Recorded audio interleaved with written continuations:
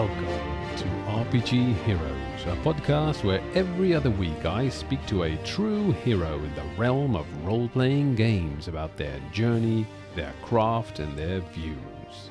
As your host, I will focus on one particular aspect of this wonderful hobby for the interview, regale you with stories from my own 25 years of experience with role playing games, and reflect on the major takeaways from the interview. Join me now on this epic journey and awaken the hero in you. Welcome to episode 22 of RPG Heroes. And today we're going to be talking about role playing games in education. And by education, I do mean actual schools or colleges, etc. And how we could approach using role playing games in our lessons or teaching students to play role playing games or maybe an after school RPG club. And to help us with that, uh, later on, I'll be talking to the hosts of the Detentions and Dragons podcast.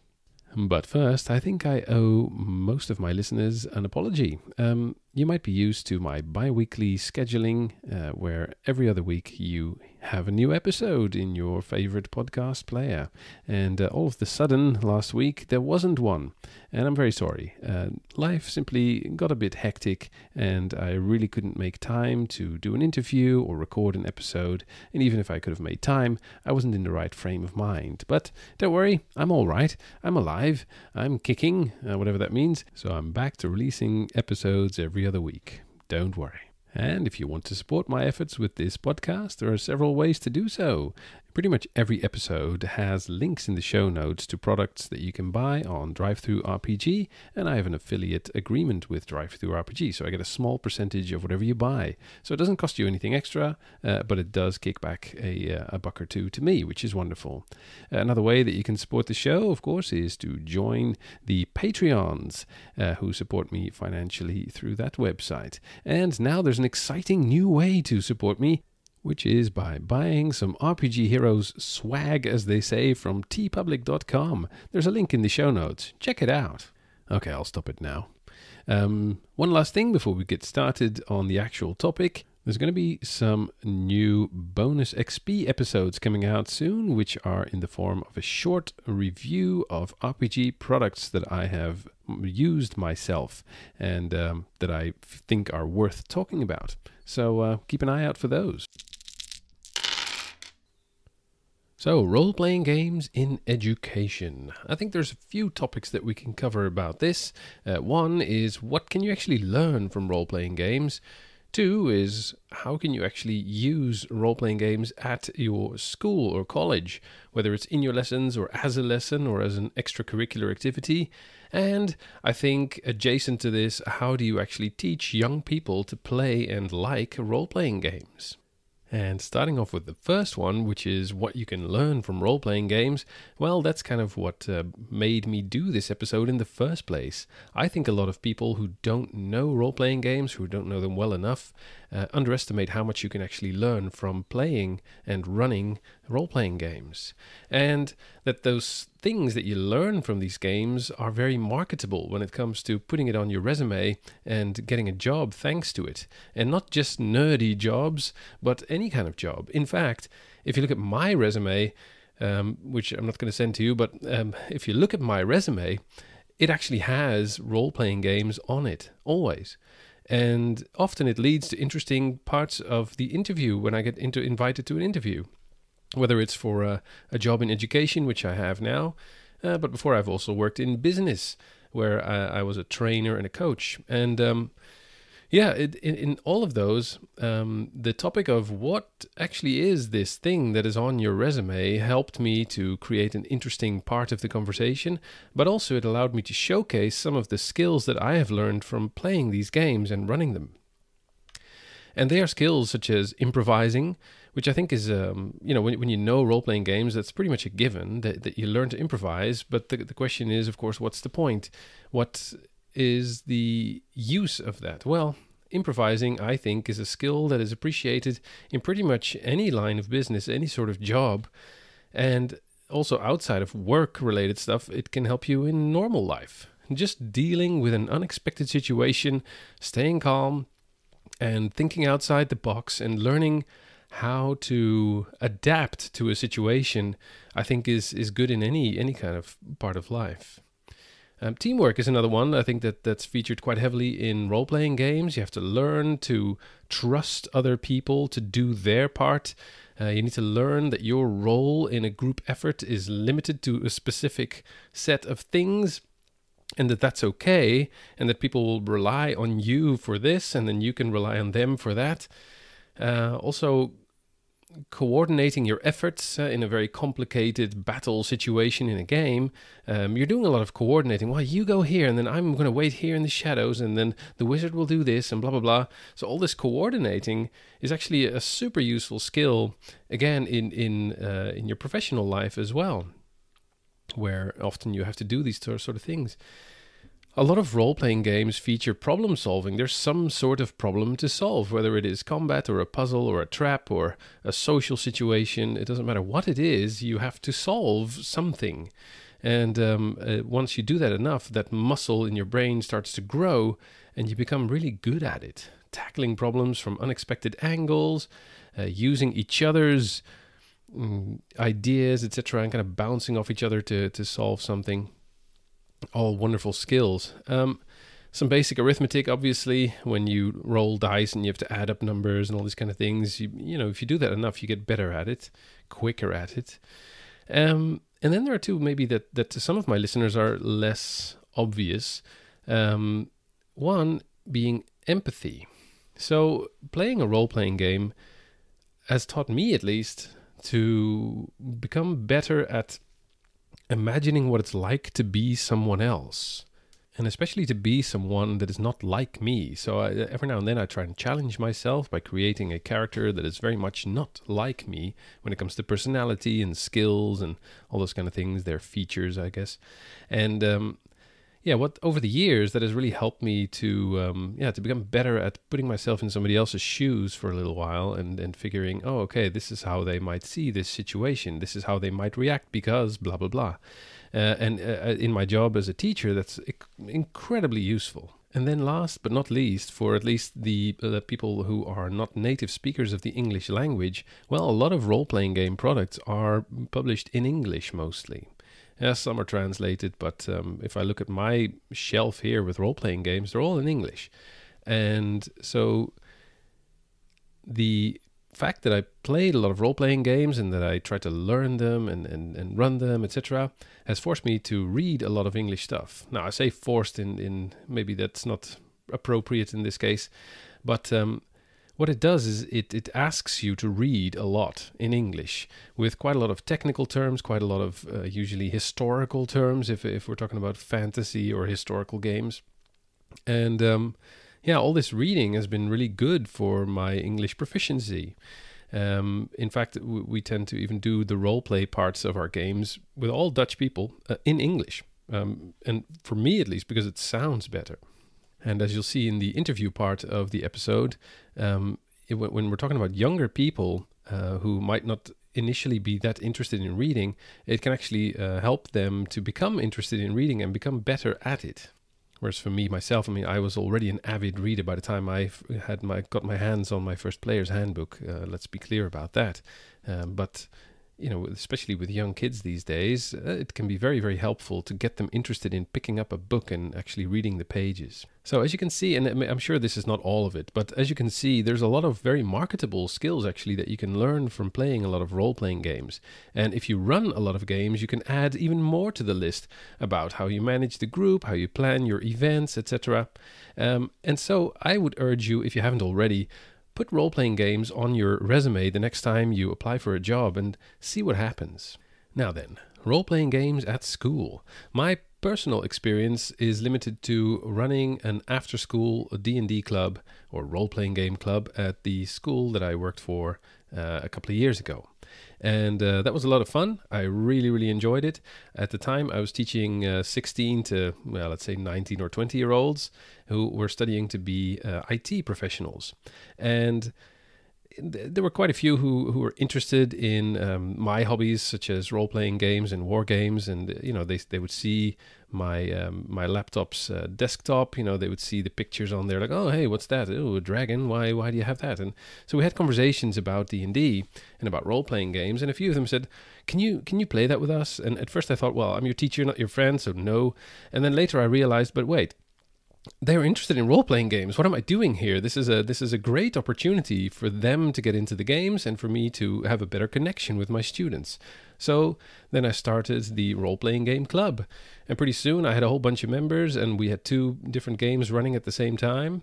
And I was using Index Card RPG or ICRPG for this. Um, why? Well, it's a quick and relatively simple rule set, but also it prepares them if they want to, to also start playing Dungeons and Dragons because it uses a similar system of d20s and uh, stats like strength, dexterity, etc. My school at the time was generous enough to um, uh, to let me use uh, rooms, etc., uh, and give me some, uh, well, at least the, the, the office equipment that I needed for this, uh, so such as flip overs and pens and paper and all this kind of stuff. Um, and I had the books already, so really you don't need much to get one of these clubs going and um, yeah, the, the, the students really enjoyed it. And one of the best moments in my teaching career to date was um, that one of these students from from that role playing game club. I saw him a few years later at his graduation. I wasn't working at that school anymore, but they invited me to come over and see them graduate, and they said. Um, you know what, sir? I, I actually still play D and D now with my colleagues, and it's all thanks to you. And I thought, wow, you know, I've I've positively influenced somebody's life and got them into this crazy hobby of ours, uh, which just really pleased me a lot. Um, yeah, so so doing this as an extracurricular activity, if you're a teacher, is not that complicated. Um, depending, of course, on the country that you live in and the rules around extracurricular activities, there might even be a budget available for it. And my long-term plan was to find in each little player group that I had in that club, uh, to find at least one or two of them who might be interested in also running the game. So to try to teach them how to do it, and so that it could grow into multiple groups where everybody had their own. Uh, student dungeon master, and uh, I would be kind of running around and helping them out, helping maybe with the prep or helping with things that happen in game. Um, yeah, well, I never got that far because I changed um, locations, but uh, yeah, uh, I, am thinking about trying this again. And um, as I had hoped, it really, really helped to cement my relationship with some of these students, uh, including students who might have been my, maybe the more quiet sort. Uh, so uh, I think that that's just a wonderful outcome, aside from you know helping people find a, a new hobby and maybe make some friends at school. What I don't have any experience with, uh, but am interested in, is using uh, role playing games in a lesson or even as a lesson. And uh, I think we can look to things like Nordic role playing, which I've talked about before on the episodes about Swedish role playing games, where um, the role playing game takes form more as a yeah, a collaborative problem solving exercise where you say, okay, this is your situation. You are in this club, uh, you are in this political party, and you are the police or whatever. Uh, and let's try and figure out what happened and solve the problem. And that can teach uh, students something related to your your subject. Uh, in my case, my subject is English.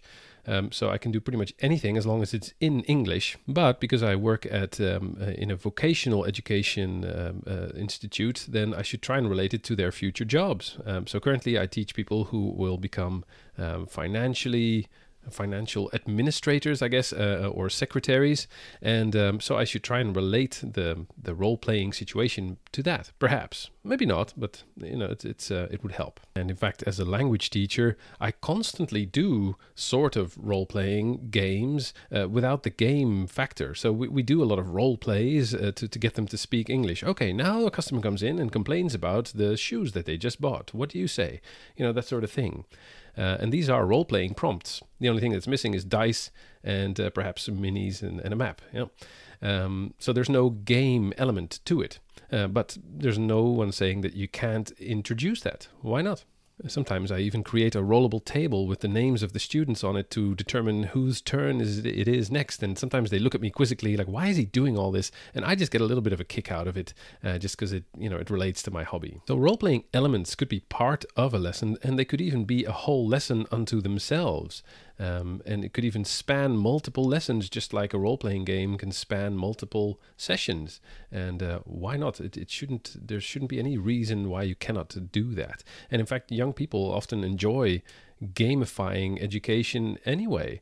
Uh, there's a lot of research showing that when you gamify a subject, uh, young people tend to uh, do better at that topic. In fact, there I think there's no industry out there better at um, teaching people how to do something uh, than the gaming industry when it, when we're talking about computer games. Computer games are excellent at getting you hooked, uh, getting you to spend lots of time and lots of effort to learn a skill, which is surviving the game or solving the puzzle or whatever it is, um, without you really realizing how much you're being manipulated in a positive way, with little rewards, with points, with uh, achievements that you can unlock, etc.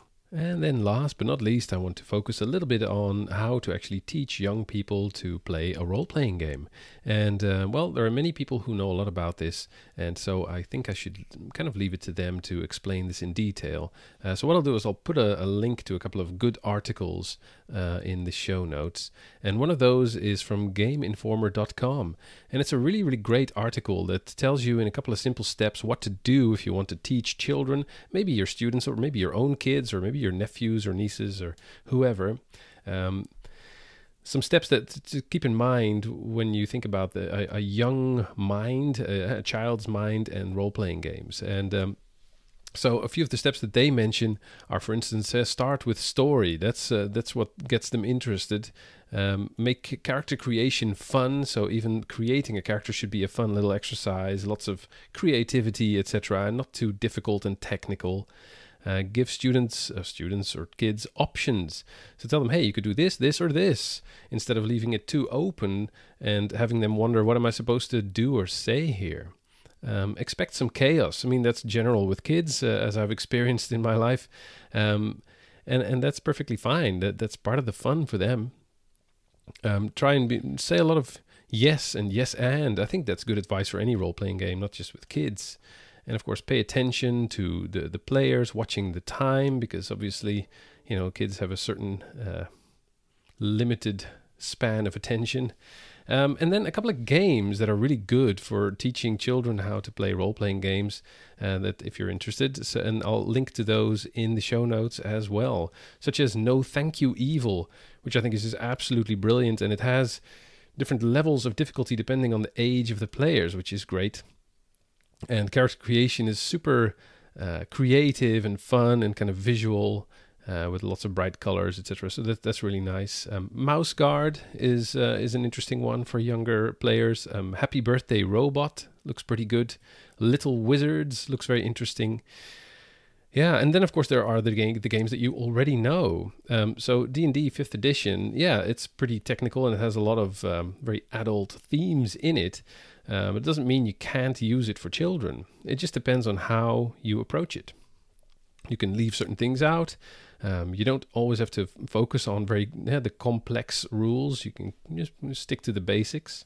And one game that I've mentioned before already is Index Card RPG, which I think is just excellent to use uh, when when you don't have uh, very much time to go over all sorts of rules and also um, yeah, to, to, to get people interested and you don't want to intimidate them with very large volumes of text. Um, it's very quick, it's easy to learn, and it is geared towards quick, fun action. And there's plenty of room for role playing. Welcome to the show, Josh and Matt, creators of the Detentions and Dragons podcast. These two gentlemen do not only share my passion for RPGs, but they are also fellow teachers.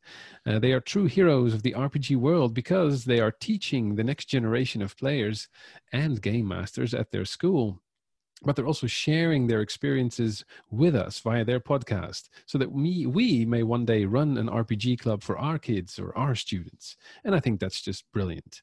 Uh, they've just started season four of their podcast, so be sure to check out Detentions and Dragons. And uh, well, welcome aboard. That was quite the glowing and magnificent introduction. Indeed. I'm like, I'm like brimming with just like Oh my goodness.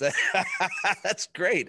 Yeah. Normally our introductions are something like these two teachers couldn't cut it as actual human professionals in any other field. So they decided to go into the lackluster and thankless job of teaching with their extremely niche podcast. So thank you. This has brought a lot of positive energy to my day. Excellent. Well, I'm happy. and that's what this show is all about is um, recognizing that there's a lot of people that do a lot of cool stuff for role-playing games. Um, so just before we dive in, uh, what do you guys teach? What, what sort of school, what sort of subjects, just so that we get an idea of what you do? Sure. Josh, take it away. Oh, that sounds good. Uh, I happen to have a license in both uh, elementary education as well as middle school science.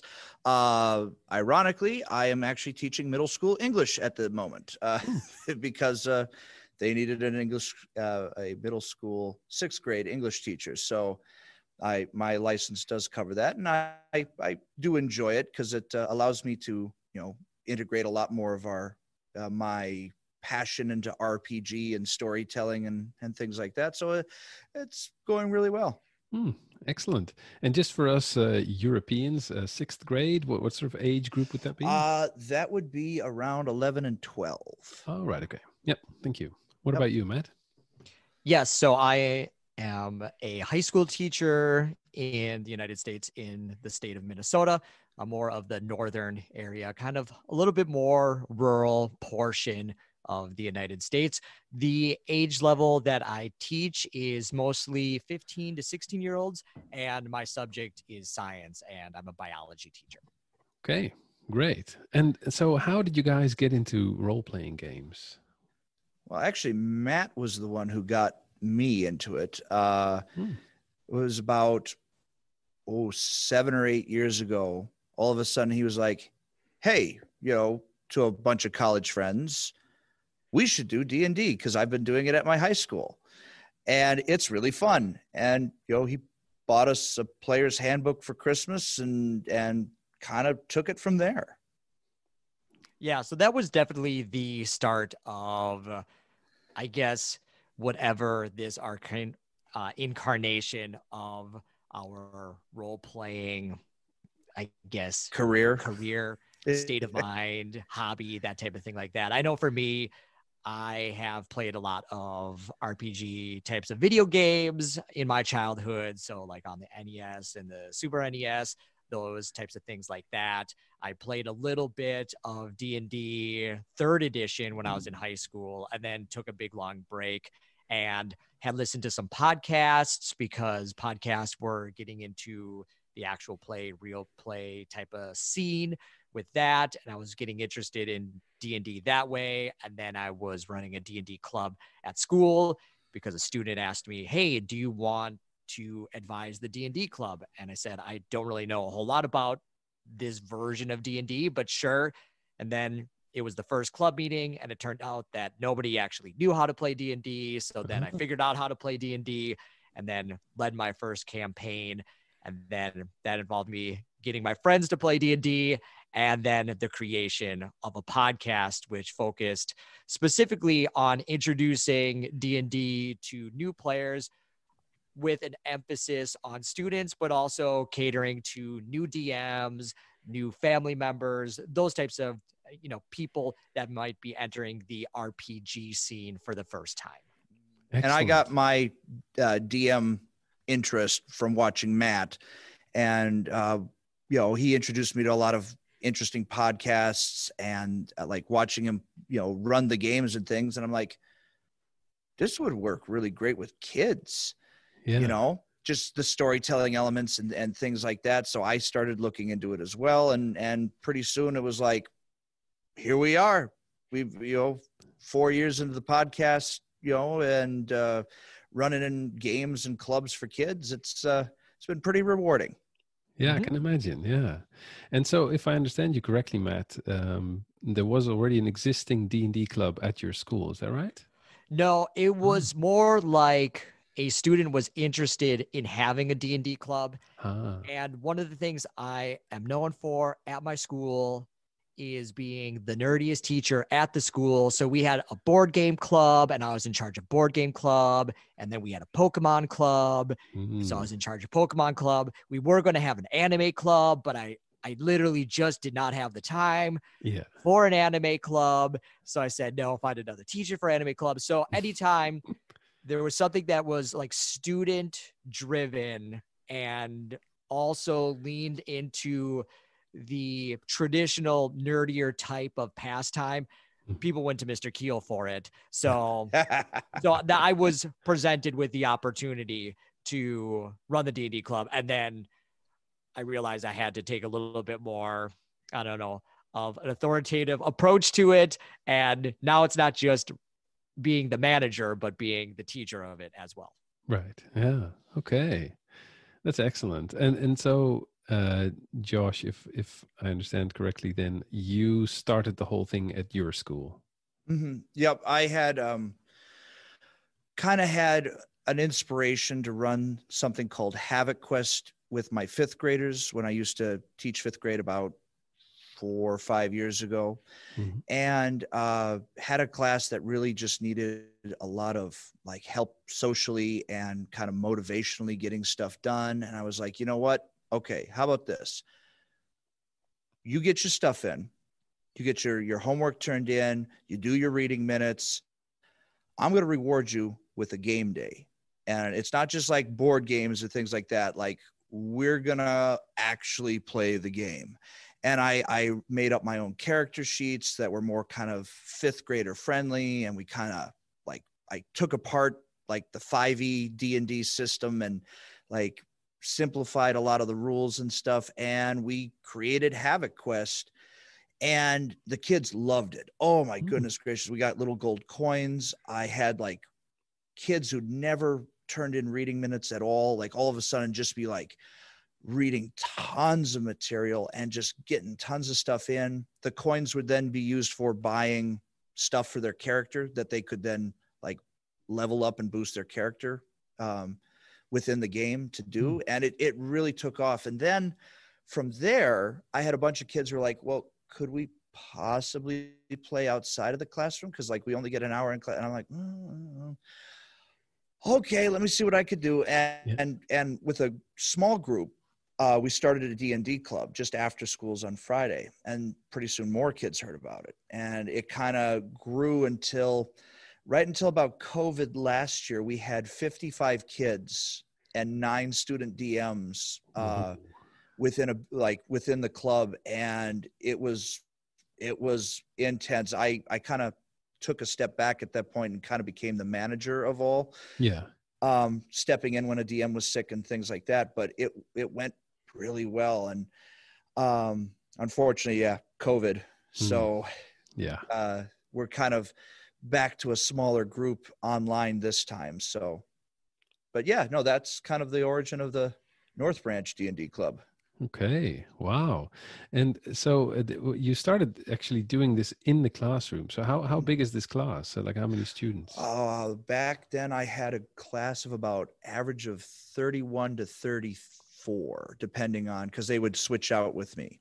Right. And so it was a lot of a lot of RP, Mhm. uh, a lot of uh, kind of management. You know, we're going to group you three together. What are you three going to do? Mm. Okay, you're facing a zombie ogre. What are you doing?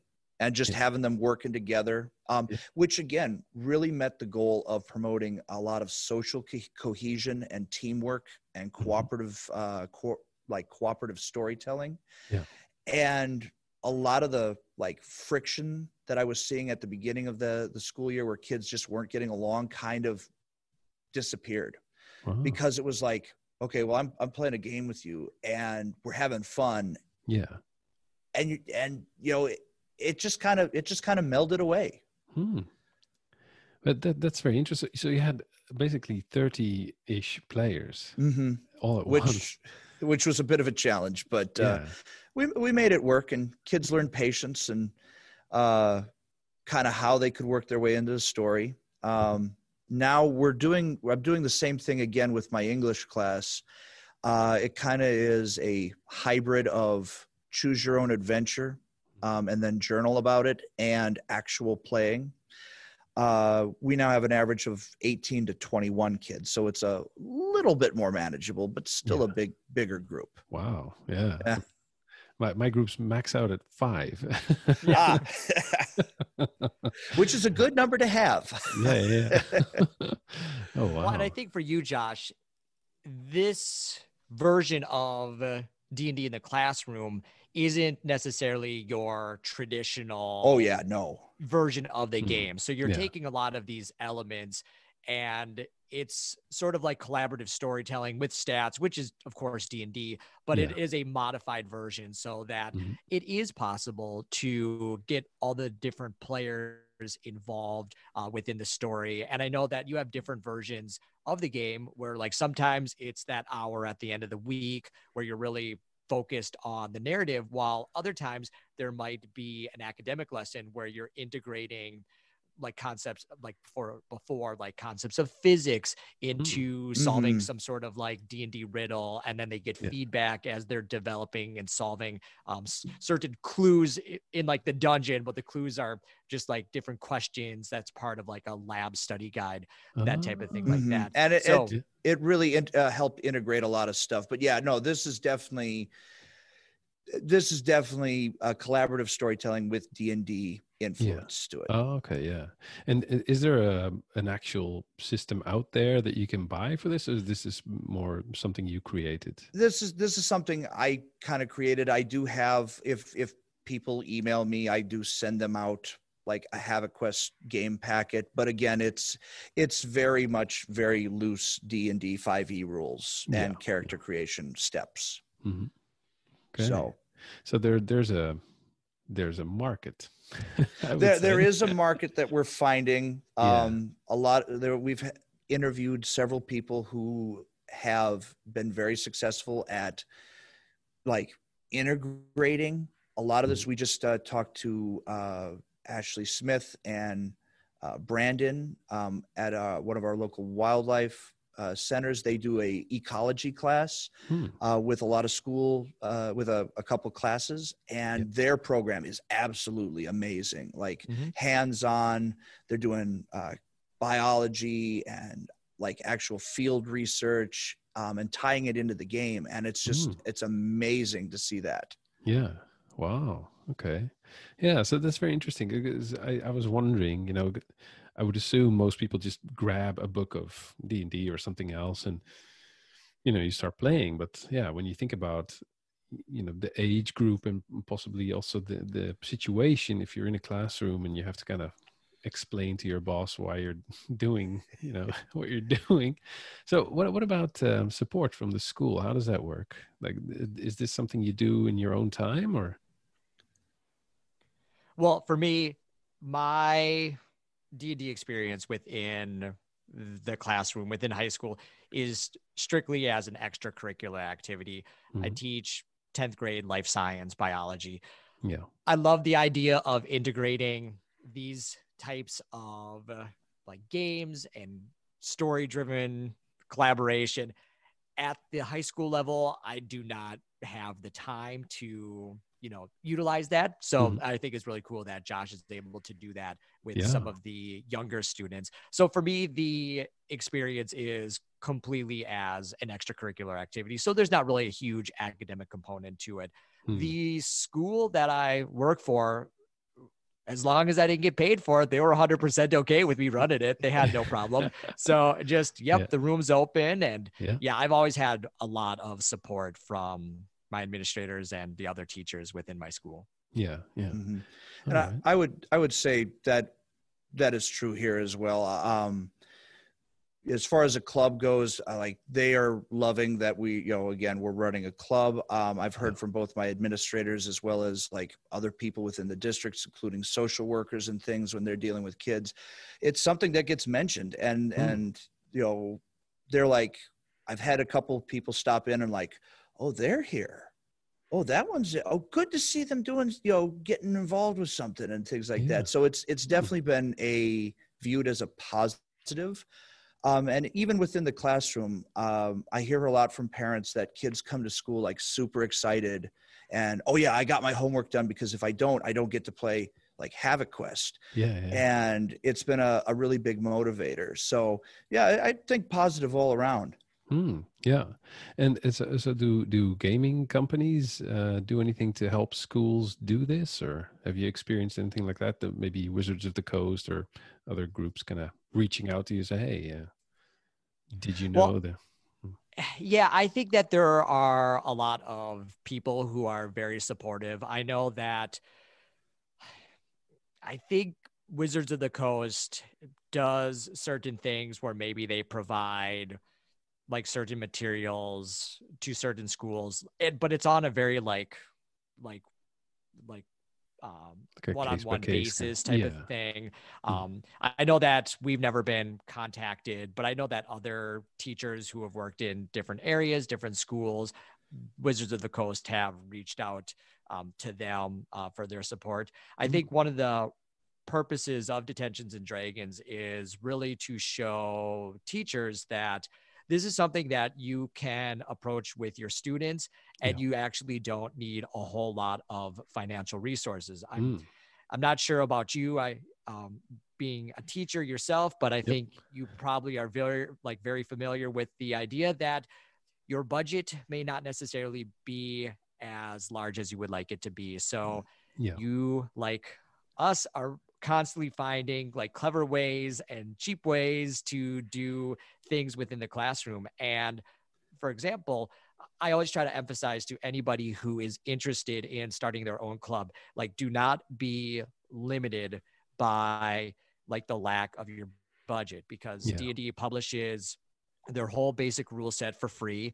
They publish a lot of the core classes, spells, mm. monster list, you basic rules. They yeah, mm. they have yeah. all those things for free. So yeah. if you're the person who is saying, "Oh, I can't get started until my students each have their own player's handbook," like you're never going to get started. But if you show them the link and said, "Hey, here's a PDF that has 80% of the rules in it," then you have just taken one step closer to getting started in that club. And there are so many different free adventures out there. That dice rollers. There's dice rollers. So while it would be awesome for more organizations, companies to contribute more to education, number mm-hmm. one, I think that there probably are a lot that are mm-hmm. doing it. They're just not uh, doing that for our specific club. But I think yeah. there's so many like free resources out there that. Yeah uh, it really shouldn't hold anybody back. And there's been some other companies like I know Kobold Press, uh, Wolfgang Baur um, mm-hmm. sent us a whole bunch of Midgard stuff, which is an RPG um, similar to to D and D and such. Uh, he sent us a whole bunch of things, mm. and I know he sends uh, other things out to um, schools and, and such like that. I know there's a whole mm-hmm. bunch of dice companies that do as well. Um, so yeah, there's it's just it's very circumstantial in yeah. some regards. Yeah. Okay. Hmm. And so uh, when when you look at um, using role playing games in the classroom or teaching uh, school kids to play D and D, what what would you say are the most important things to realize if you want to try and do this? Sure. Let's focus first, maybe on just teaching kids to play D&D. And then Josh, if you want to talk about some of the educational aspects because they're really two different beasts that you're mm-hmm. looking at. Mm-hmm. Yep. How to integrate it into standards driven curriculum versus how do you just get the students uh, into an actual game of D&D because mm. it is very difficult. The rules are free, but there's a lot of them and mm-hmm. if you mm-hmm. expect anybody to read a book beforehand they're not going to. Nope. Um, so you definitely have to keep some things uh, in mind. I mean, you basically put instructions on there turn your paper into Google Classroom. Like you mm-hmm. write it six times and they, they turn in a blank document. Like yeah, yeah, yeah. to try to put D and D instructions on there, it's that is that is a bit of a challenge there. Mm-hmm. So, mm-hmm. so I would say my first piece of advice is when you're going to run D and D with kids, the number one thing that you want to do is you want to make it fun. Mm-hmm. And what this means is going to really vary from group to group. You might have a group of kids who don't like the combat version of D&D and they really like the social like aspects of it and you might find a group that's vice versa they really like the combat and they really don't care about talking to NPCs and that type of thing like that Yeah. the rules are important but the number one thing is you need to find what is going to make the game fun for everybody because like the most important thing is this is a game and if the game's not fun then what's the purpose of playing the game and in another way you're going to lose all of your students from your d&d club because they're going to know that this is not actually a thing that they want to do it's just Yeah. a chore so Yeah. find what makes it fun even if you have to bend the rules fudge the dice rolls maybe give those kids a plus three you know flaming Yeah. sword at like level two Yep. you do what you need to do to make the game fun Yeah. Yeah. Okay. Exactly.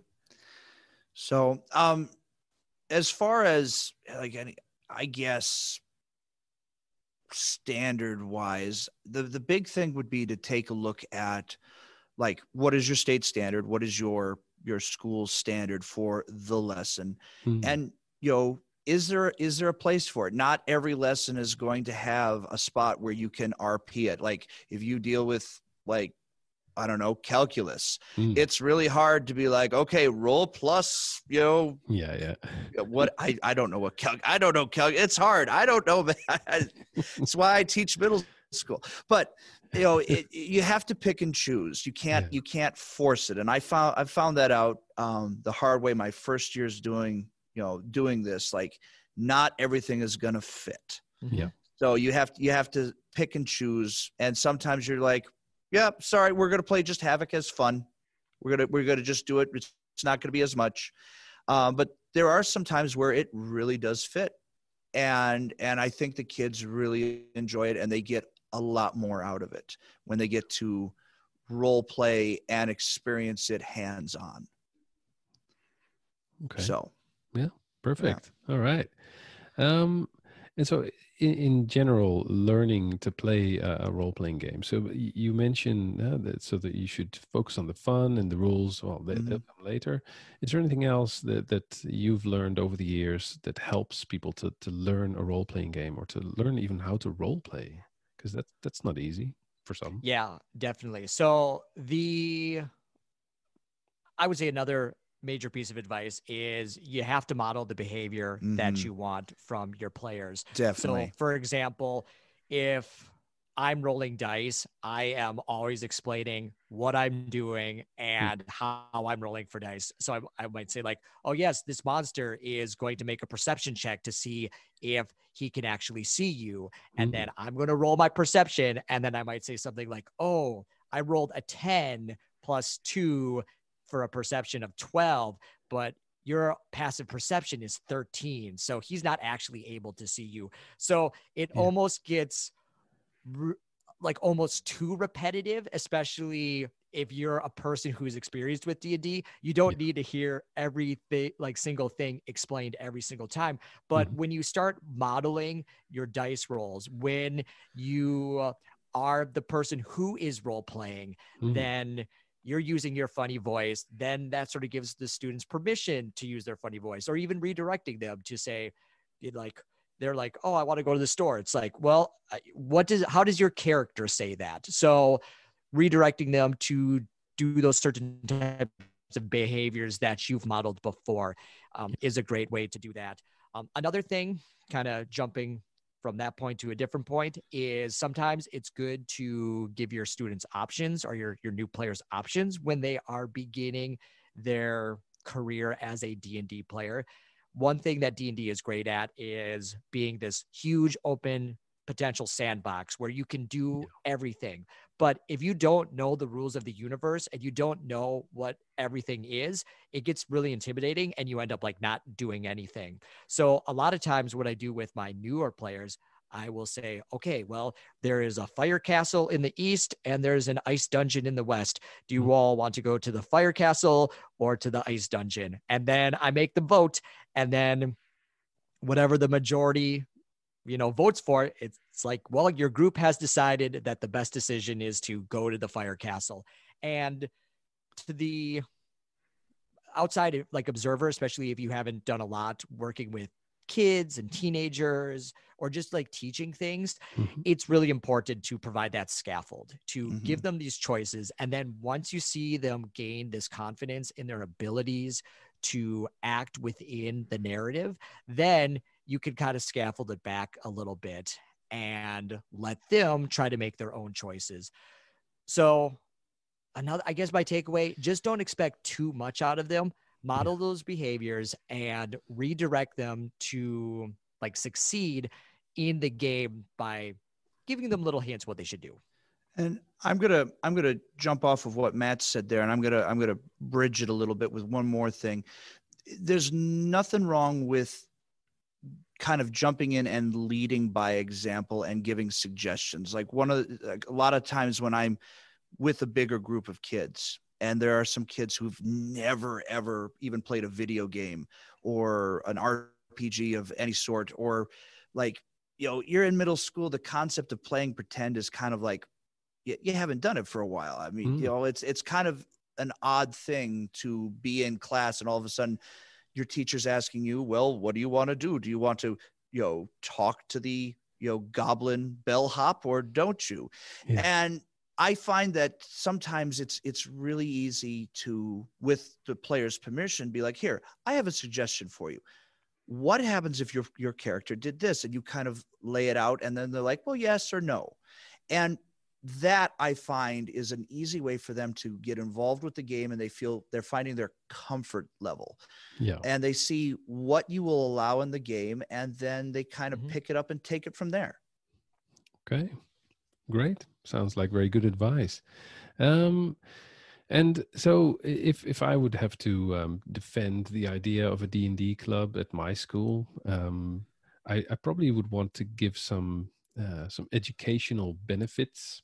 So, what would you say are, are the educational benefits of playing a role playing game for you know young people? Sure. I wasn't expecting that question, so. I'm going to have to process it. No, I okay. yeah. am kidding. I'm just kidding. So, on the surface, mm. there is not a lot of intrinsic educational value. Is this going to help them with an ACT or some sort of standardized test? Hmm. No, it is no. not. It isn't going to help them to earn a better grade or get a diploma or get one of those certifications, that type of thing. So, Josh would make could make an argument that within his world, then yeah, there's like an educational component to me or to that. Uh, for me, I, I do not have that same educational component. So what I really try to focus on are what are these uh, social skills that the students mm-hmm. are learning because if we think about what school is there is the academic component but there's also this social component like we yeah. are trying to raise decent human beings on this planet. Yeah. And the place that you have to like really practice this in a structured environment with good role models is school. So, for example, you could make an argument like, oh, what's the educational value of a sport? And it's about learning teamwork and camaraderie and sportsmanship and all those different types of things like that.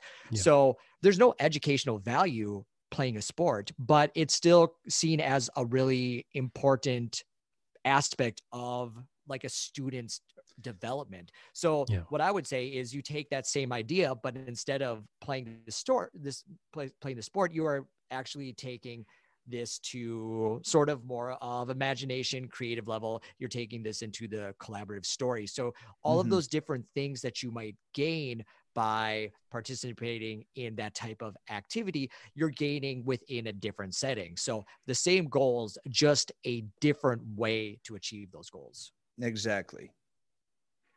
Perfect. Yeah, that's, that's how I think. That's kind of how I felt about it as well. Uh, especially, I, I teach um, at a yeah, I guess it's kind of like a community college. We call it in, mm-hmm. in in the states. So they're, they're 16 and up. Um, you know the, the and the group that i had they were studying uh, uh, like for low level I, it jobs um, sure mm-hmm. you know a very likely group of people to be interested in role playing games in general. Um, but yeah so, so, yeah when the school asked me so what are they learning exactly? I said well you know how to kill goblins. But um but other than that you know a lot of those kids they you know they had yeah i wouldn't say that they were bad at social skills but they could definitely improve them and i said well you know improvising those kind of things um having a bit of empathy you know mm-hmm. being understanding what it's like to be someone else well um, there's a there's a lot of um there's a lot of other venues in the world that are seeing RPGs and TTRPGs as being very beneficial for the productivity of their overall company and team. I know of a couple that actually do hire GMs to come in and run like for the company d&d games oh. and and because it teaches you know cohesion and cooperation and you know advanced problem solving and it mm-hmm. just it again it's not are they going to do well on an act standardized test no. no are they going to empathize with somebody and see the deeper you know meaning of why and how and what the conflict is of a situation? Probably you know hopefully that's the goal right? Yeah yeah. So you know there are a lot of places that are looking at TTRPGs as a way of advancing this kind of below the level like cohesion in groups and and yeah. it's really exciting to see. Yeah. Yeah definitely. So it's it's becoming more and more of a um, an accepted thing also huh? that, mm-hmm. i think that helps yeah. It, it's no longer like you know something people do in their basements and it's it's these people over here you know? It's yeah, like everybody's running into d&d it's it's really yeah. nice to see. Yeah absolutely so what would you say are the best role-playing games to use at a school i mean obviously we talk about dungeons and dragons a lot because it's the most famous role-playing game out there but uh, are there any other ones that you've experimented with yeah um, i've i've used kids on bikes mm-hmm. uh, a rogue hat production uh, i used that last year uh, right before COVID uh, kind of sent us all into distance learning. Uh, the kids really liked that one. They literally played as kids, and mm. I put them on out, out on a field trip, uh, and it was. Um, yeah, it, it, was very simple, very easy to explain. They created characters within 15 minutes of class. Mm. Um, but uh, yeah, no, I would recommend that one. That one was really good. And uh, let's see, any I've kind of taken Monster of the Week apart um, and started to, you know, use that rule system and dice system, uh, possibly for a choose your own adventure game. I'm hoping mm. to maybe try that out next year. Okay. Um, we're going to call it Spuds uh, for for a, a squeeze. Uh, uh what is it? Squeeze postal and unique delivery service. Uh, I've got an adventure cooking, hopefully. Oh. Uh, but yeah, uh, those those would be my two recommendations. Hmm. What about you, Matt? Well, as a person who has only run D and D within the classroom, I'm going to say that both of those seem like great options. And if you're ever in question about what gaming system you should use, I would say the simpler the better is going to be something that's really important uh-huh. um, i like d&d because it is very popular clearly our podcast is named uh, in kind of the spirit of dungeons and dragons yeah. uh, but i think there are other great systems out there even if you go with something like lasers and feelings which is a 2d6 mm. system mm-hmm. and i haven't tried it yet i want to because something that I like about some of those simpler styles of games is it gives you a little bit more freedom for your characters to do things. Yeah. Sometimes you see the student get a little bored of their role within a D&D game. If yeah. they're the fighter, they're always attacking and maybe they use a second wind and maybe they have like a fun magic potion, but they almost get into a routine in the battle sense of it, but something where you can get really silly, really wacky, really creative uh, with a system like uh, Lasers and Feelings. Yeah, would be my number one recommendation uh, to lean into. Okay, perfect. Um, so one question that, that, that I have still is um, So obviously you've been doing this for a while. Um, so for both of you, what, what has been the, the best and what has been the absolute worst moment uh, in your D and D club? Just so we can learn from it. Sure. My best moment and my worst moment. So my best moment is not so much well I, I, gotta i have to point this out because it just makes me feel good hmm. but it is consistently year after year there will be some sort of point when these students are really understanding how the game works they're playing their characters and then like this little offhand comment they'll say oh this is the only club that I've ever done in high school, or this is like the first time I felt really welcomed at school. Like, this Ooh. is the best part of the day. I had a student who couldn't fall asleep the night before a DM, like a, um, what do you call it? A game club meeting uh-huh. because oh. she was so excited about what was going to happen. And it's like, in a world where it's really easy to get depressed by what's happening in our surroundings and to mm. feel powerless and to live in, in a community where maybe you aren't the coolest person and you're not traditionally seen as the most successful or the most handsome mm. or the most intelligent to like know that you have a place where you can be yourself and people welcome you like that always feels good for me because yeah. sometimes it's it's work to stay after school and you're there for an hour and a half and you're developing new gameplay and missions and that type of thing and sometimes yeah. you're just thinking, oh man, I wish I could just go home after work yeah. because then I could go home, I could take a nap, I could play video games. But then once you're there and the kids are having so much fun, you're like, oh, this is not just a game. Like this mm. is an important memory. This is like a foundational moment yeah. in these students' lives. And even if they don't ever play D&D again, like you could say like I was this positive influence. I was there for those students. And yeah. like that is continuously the best thing that happens when I D and play when I play D and D. The worst thing that happens is I try to make the game too complicated. Mm-hmm. Now, I hope none of my students are listening to this. I had this idea that I was going to run Tomb of Annihilation at club this year with the idea of like they would get through like a little bit of it. And i'm already about i don't know six weeks in and i'm thinking oh no i really really screwed up. Super super bad. So i'm having to do some like major shifts. And i tricked myself because one of my philosophies is make your games sort of divide them into like shorter mission based things mm-hmm. so that like narrative arcs can wrap up quickly the like the arcs don't have to really be dependent upon each other so like sometimes you'll have a student show up for two months and then never show up again sometimes you'll have a student show up at the beginning of the year mm. and then you have to fit them into the story so yeah. a really easy storyline is to say you're all mercenaries you all work for a guild and yeah. you're taking all these missions in order to get as much gold or as much money to then eventually fight the big bad guy. Yeah. I decided I wanted to do Chult really, really badly. Yeah. And I did not realize how hard it was. And I kind of regret that. So, oh. really understand that there's a certain level of play that you're you can expect your players to like step up to. Yeah. But you gotta maybe acknowledge some things are going to be too hard. But then for me, I'm just like, well, we're just going to make it a simpler version.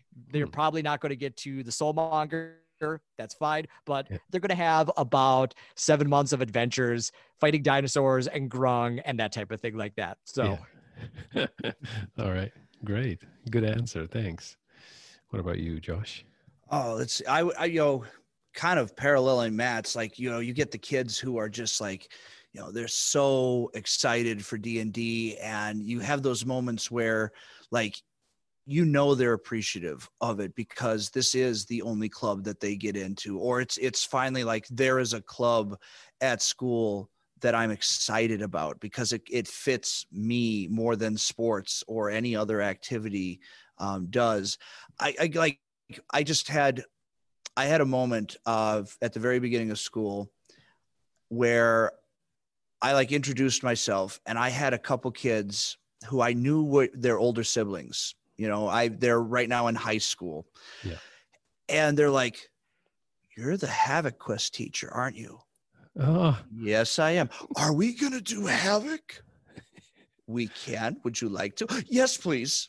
oh wow. We would really much like that. And, and, and they get they were like really excited. And so like to know the fact that it was enough of an impact that kids went home and they talked about it Mm. and they shared these adventures on top of that i think that like the the greatest like even beyond that when you have kids connect Mm. via an um i i recall one particular time uh, i had one student who really was having a hard time fitting in uh brand new kid tried playing football out with with the rest of the kids at recess didn't really you know didn't really get the hang of it you know was was just really struggling.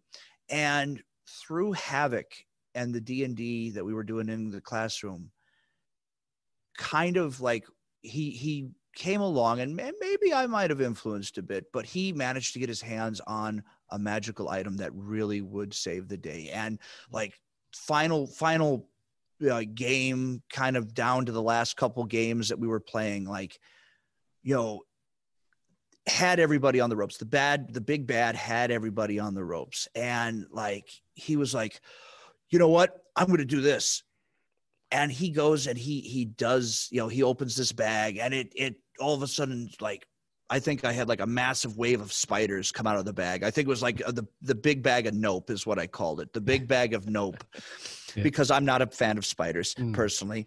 Um, but like I had like a giant like ocean wave of spiders come out and just like just finish off the big bad and everybody cheered and the kids practically carried this kid out on their shoulders. I kid you Oh, not wow. not exaggerating, almost carried this kid out of the classroom on their shoulders. And he just had the biggest smile on his face. And he had, like, he made a lot of connections with kids that day that even Mm. through the last week of school and the following year, because I had, I had kind of a concurrent, uh, concurrent uh, grade level. Uh, I went from fifth grade to sixth grade. Mm. And so I had the same group of kids. He still had friends who were like talking about it and playing D and D with them. And Oh. it was, it was just so cool to see that. Yeah. Uh, the worst, I uh, the the bad thing with with it is like sometimes kids do get have dramas. Hmm. Uh, sometimes game drama does you know fall out in the classroom and outside of the game, and I've I've had to deal with uh, a few of them, not very many, but Mhm. one or two, and you know it's kind of like okay, I understand we're passionate about this. Yeah. I understand we have a lot of feelings and this, but we have to work it out. Okay. Cause this is, as, as we've said before, this is a game. Yeah. It's supposed to be fun. And if it's not fun, maybe it's time to find something else to do. Yeah. And, you know, usually we were able to work things out. You know, I haven't had to like kick a player out of a, out of a club yet. And I hope I never have to, but, um, that I guess is like the one, one bad thing that I, Yeah. that I've experienced. So, Okay. yeah. Yeah. I thought you were going to say when you allowed all of your players to take the lucky feat. Oh, that was terrible. I was so dumb. I was I was a that was a noob DM mistake right there. Oh, that was so bad. Oh, I had to nerf that real quick. it's already the worst slash best feat out there, and you allowed all of your players to have the lucky feat. Oh, I didn't I didn't read it into it too much, and it was like, oh, oh, the- you know, oh, the the the lich throws a spear at you. Oh, lucky it, you know, kind of a thing. And ah, Yeah. I, I can imagine that gets old real fast. very fast, very fast.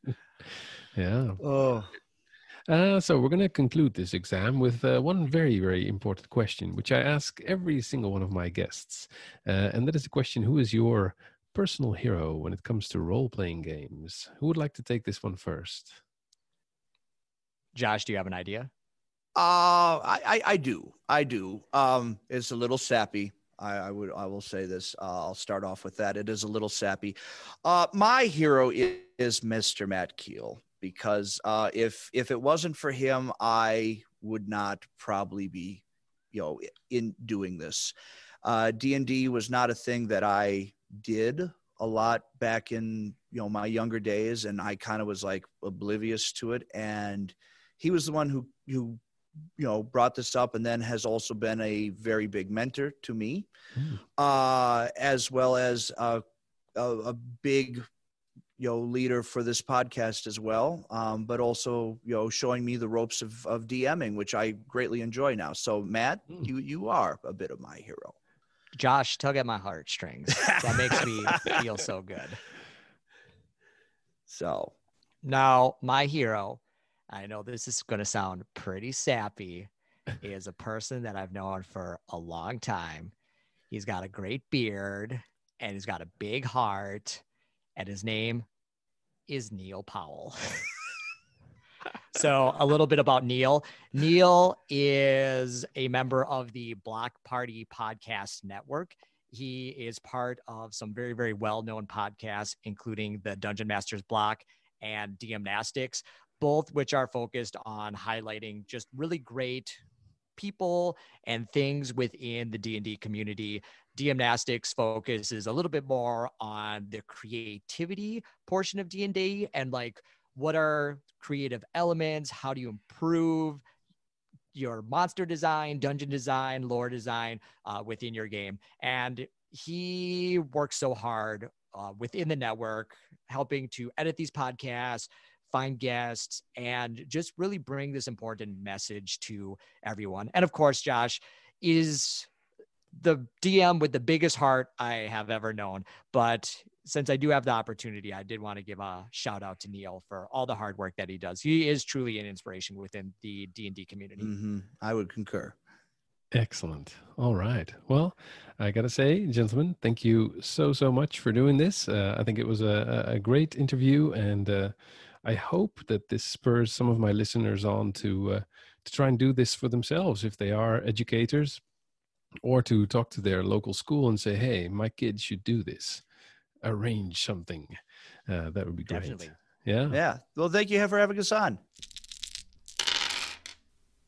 All right, so that was interesting. Um, yeah, so I think the main takeaways from this particular interview are if you want to start teaching young people how to play role playing games, and if you want to use role playing games at a school, uh, some things to keep in mind are keep the rules relatively simple, don't let them get in the way of the fun and, and the process.